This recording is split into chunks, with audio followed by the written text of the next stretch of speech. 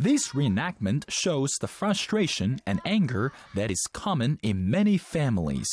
Chinese American parents often find communicating with their children challenging.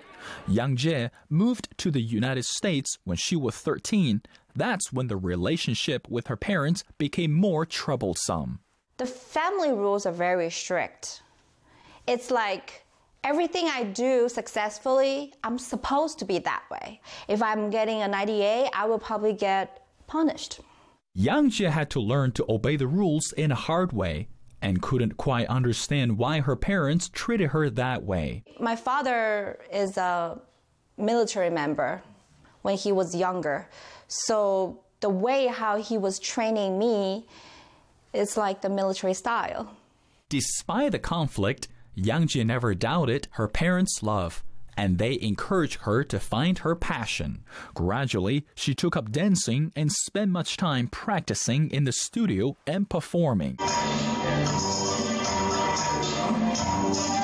The biggest motivation for me to work really hard to get into the advanced class and to, to wear the most beautiful costume in the whole dance school.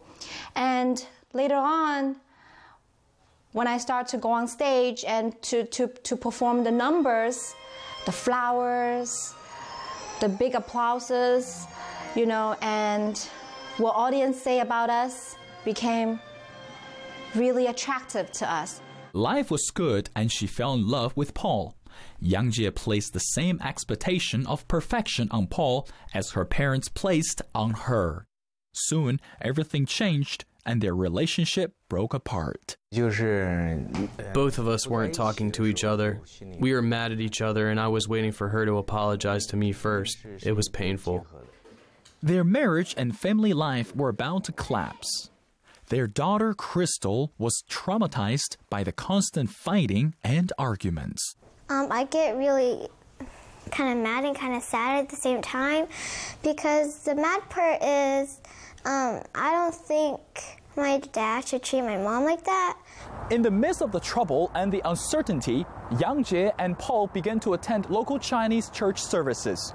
The pastor showed them and the other young couples how to build a strong and stable family in God's way. And there's always new people coming in. There's always people who are looking uh, for a community to belong in and looking for people um, that they can connect with. And I think as a church, we have an opportunity to um, reach out to them with the gospel and to introduce them to Christ. Many of them who've never been part of a church before or even picked up a Bible before, and just help connect with them and help them to know Jesus. In 2016, the United States granted almost 41,000 immigrant visas to mainland born Chinese citizens. And a number of Chinese churches in the United States grew from 1,200 in 2006 to 1,600 by 2011 some churches are coming together to more effectively reach young Chinese. We're working with um, people in our church and other churches. There's four Chinese churches in Hampton Roads area who are all working to reach this community, um, some in different ways. And we also partner with other local um, American churches as well. And we're part of a local church network um, that supports us and uh, connects us with other church leaders and ministries. And we all basically partner together uh, to reach the Chinese community and to, to really bring the gospel to that group. Gradually, Yang Jie and her husband found their purpose as a couple, and their marriage was healed. Praying is like the daily spiritual just breathing, the air that we need every day. And reading the Bible, studying the Bible, is like the food we intake every day.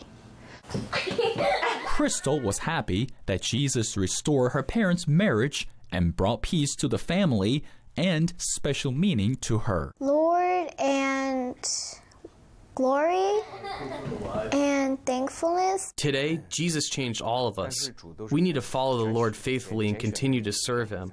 We were lost. Now, we belong to the same Father. Meng Fei Li, CBN News.